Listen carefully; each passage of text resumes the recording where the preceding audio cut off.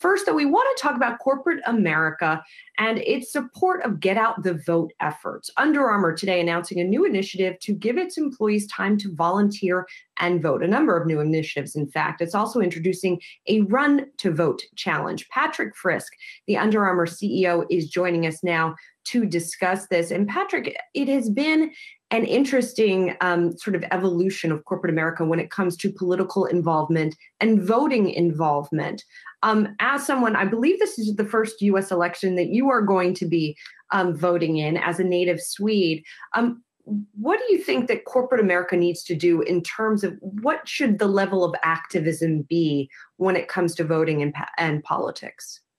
Yeah, it's interesting. I guess if you would have asked me five years ago if we would have been uh, driving an initiative like this, um, I would have probably uh, uh, not uh, been able to foresee, you know, where we're at right now in, in terms of what's going on in society and in general what the um, uh, you know the general feel is out there also in, inside of our own community uh, as it relates to Under Armour. But you know we've we've been working really hard as a brand, as an enterprise, as a company over the last three years to really um, define our path forward. And, and as part of that, we've gone really deep into uh, our value set as a company, as well as really understanding our purpose and our place here in the world. And we think that when we when we look at what's going on right now, when we when we hear our, our the voices of our uh, of our athletes and of our of our employees, our teammates as we call them, uh, it's clear to us that this is one moment when it's time for us to step up and really lead with our values. And and, and one of our values is stand for equality. And ultimately,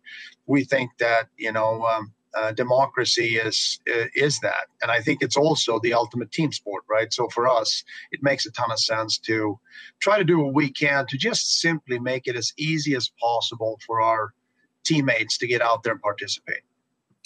Uh, now, it's not just voting, of course. A number of companies have also been active on specific political issues. When you look at something like Black Lives Matter, for example, where a lot of athletes are advocating for that, athletes who you may be contracted with, is that also, I mean, do you think that it's important for corporations to also speak up on those specific issues? And will we see more of Under Armour doing that?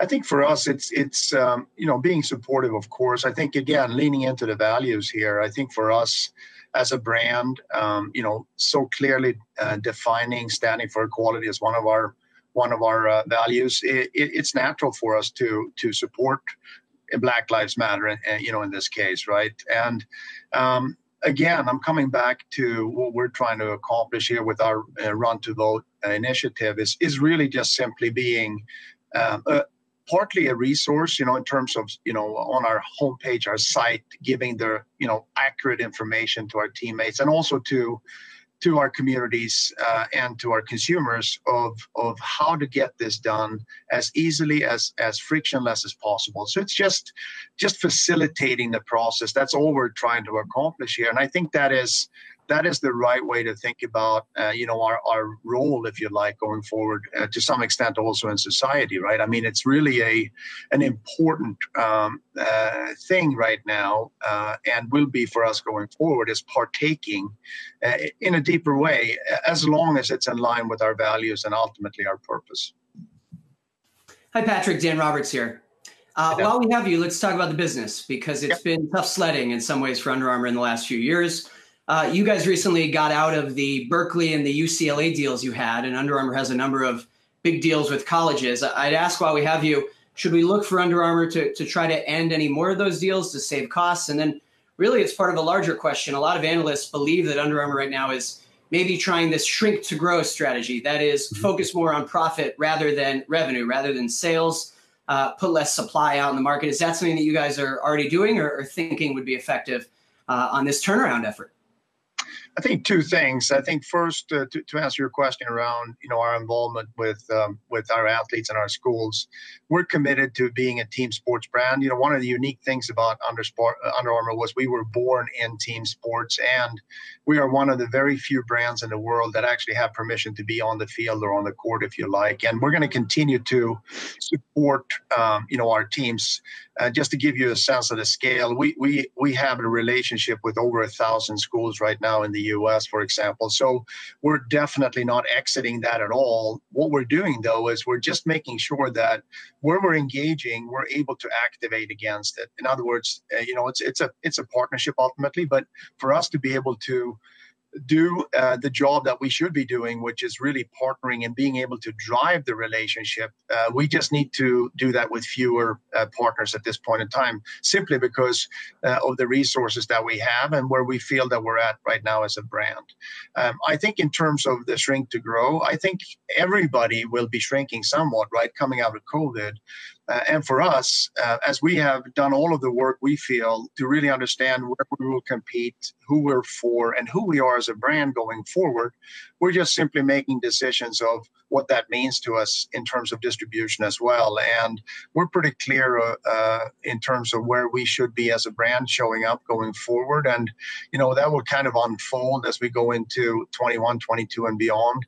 Um, and, uh, you know, at the very core of it, what we're trying to do is, is really reposition Under Armour as a premium brand. Uh, and that's where we're playing. That's where we want to play. That's where we're going to play going forward. So, uh, we're going to be in athletic performance. We're going to be one of the big brands in the world globally, uh, and we're going to do that in a more premium way going forward.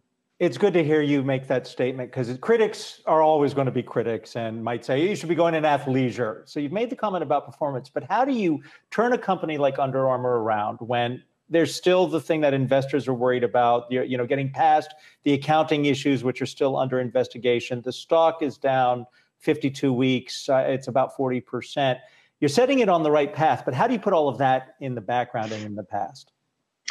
Ultimately, for us, it's all about focusing on the consumer, and I think that is one of the uh, the really big uh, things that we've done as a company over the last three years. Is we have really, you know, first of all, just simply understanding, uh, you know, our positioning as a brand, like you said, in athletic performance, making sure that we understand the consumer in that space and then ultimately making decisions that line up with that consumer so that goes into everything in terms of the product we build, the messaging that we do, and the distribution that we have to be able to reach that consumer. So we have been building uh, very rapidly and very thoroughly our capabilities in consumer insights, in digital, uh, in our ability to go to market cohesively with both product and with um, the marketing. And what you you actually will see, and you're, you're seeing right now, is Under Armour being very consistent around the globe in terms of how we show up what we say, what we do, and also driving a much more intense innovation agenda. You know, the, the, the innovations that we have now in the pipeline are lined up with the consumer. So we're feeling very excited about being able to continue to launch these innovations in a better way with stronger language and marketing going forward to win back market share as, as we turn the corner here into 21 and beyond. Patrik, um, I, I want to follow up on that a little bit because this is something also that um, the founder Kevin Plank has talked about for quite some time is is getting more premium, as you alluded to earlier. And yet, Under Armour hasn't quite gotten there, right? Um, we, we have seen perhaps over inventory. So we see the Under Armour merchandise making its way down the line into discounters, for example. So the price point then going down, the market perhaps saturated with that. So can you sort of connect the dots? Walk me through exactly how you get more premium and how you communicate to the customer that you're that you're going in that direction. Yeah. So first of all, I you know I just like to uh, um, give you know Kevin, my my partner, a um, and a tremendous amount of credit for being able to create the fastest growing sports brand the world has ever seen. And that's been really important to us because we actually had scale when we began this work.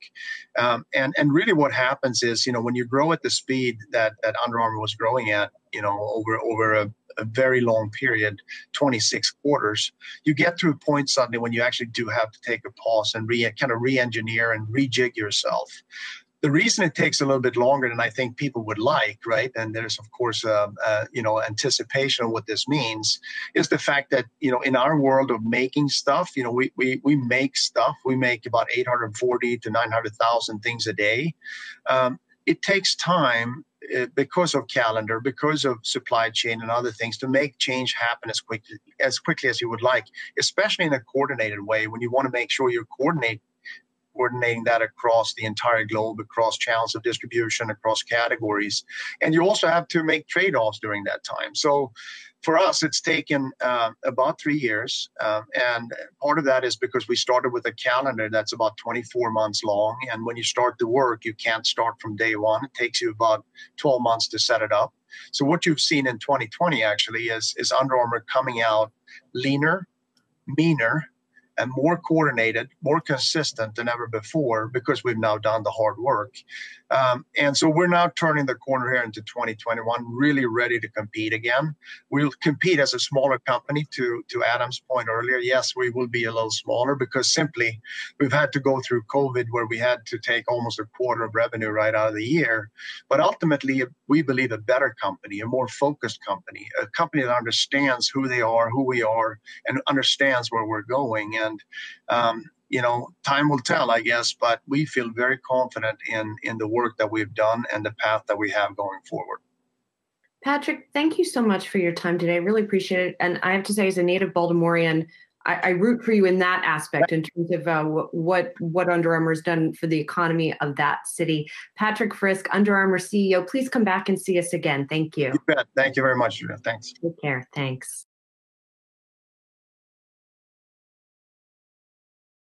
Hey investors, Zack Guzman here. Are you interested in learning more about the markets and getting the latest financial news? Well, then click right here to subscribe to our Yahoo Finance YouTube channel.